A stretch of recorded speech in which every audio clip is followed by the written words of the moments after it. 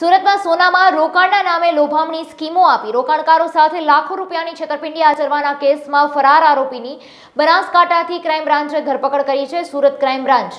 આરોપીને સુરત કોર્ટમાં રજૂ કરી ત્રીસ ડિસેમ્બર સુધીના રિમાન્ડ મેળવ્યા છે. જે અન્ય કોઈ નિવેશકારો જોડે પણ આ પ્રકારે છેતરપિંડી આચરી છે, તે અંગેની વધુ તપાસ સુરત ક્રાઇમ બ્રાન્ચે હાથ ધરી છે. થોડા દિવસ પહેલાં ડીસીબી પોલીસમાં ભરતભાઈ મસુદ, મધુસૂદન ઠક્કર ના હોય એક ફરિયાદ આપેલી કે એમનું સોના ખરીદવાના બહાને નવ્વાણું લાખ રૂપિયાનું ચીટિંગ થઈ ગયેલ છે. આરોપી સંજયના વિરુદ્ધમાં એમને ફરિયાદ આપેલી. ડીસીબીની ટીમે તપાસ કરતા આરોપી બનાસકાંઠા જિલ્લાના ડીસા ગામેથી પકડી પાડેલ. આરોપીની પૂછપરછ કરતા સસ્તા ભાવે સોનું આપવાની લાલચ આપી અને એ આ રીતે લોકોના ચીટિંગ કરતો હતો.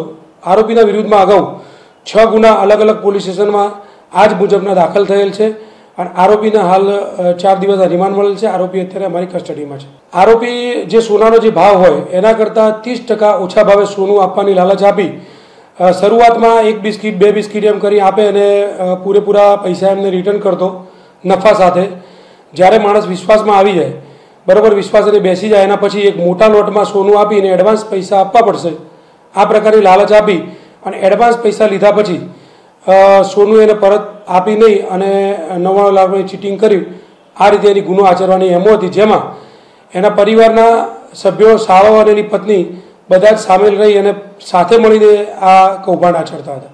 ફરિયાદી અને જે પરીબેન છે, એ પરીબેન ફરિયાદી કતારગામમાં રહેતા હોય અને પરિબેન કેતારગામમાં રહેતા હતા. તો બંને ભરતભાઈ એમને પરીને પોતાની દીકરી સમાન માનતા હતા. એના પછી પરીએ જે આરોપી સંજય છે, એની સાથે લવ મેરેજ કરેલા.